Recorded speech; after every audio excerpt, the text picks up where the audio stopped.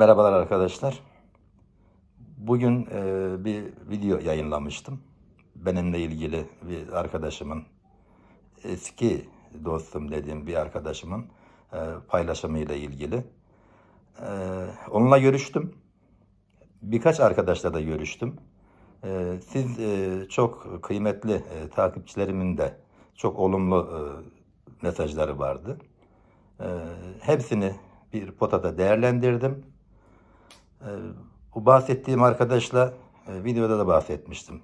Yaklaşık 30 yıla e, yakındır ve tanışmışlığımız, arkadaşlığımız var. Görüşürüz. Hala da görüşürüz yani. Ee, durumları konuştuk.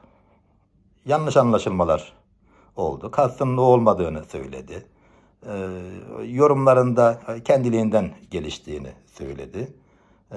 Ben de yani biz aklı başında insanlarız. Ee, bu işleri yaparken de daha böyle sakin, e, kavgaya gürültüye e, meydan vermeden çözmemiz gerekir. Ee, ben e, arkadaşıma yaklaşımından dolayı teşekkür ediyorum. Araya giren dostlarımıza da ayrıca teşekkür ediyorum. Bu benim tavrım tarzım değil zaten arkadaşlar.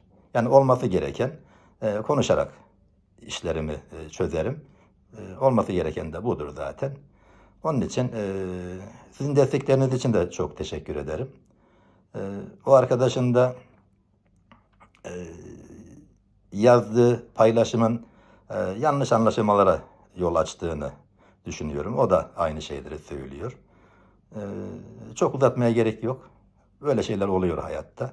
Önemli olan e, tekrar aklı selim e, konuşup anlaşıp e, bir e, yola girmek. O paylaşımını kaldıracak. Ben de bununla ilgili çektiğim e, video paylaşımımı kaldıracağım. Yani sizi meşgul ettim. Çok özür dilerim. Yani bundan sonra daha e, sporla ilgili, daha e, eğlenceli, hayatla ilgili paylaşımlarıma devam edeceğim. Hepinizi seviyorum. Hoşçakalın arkadaşlar.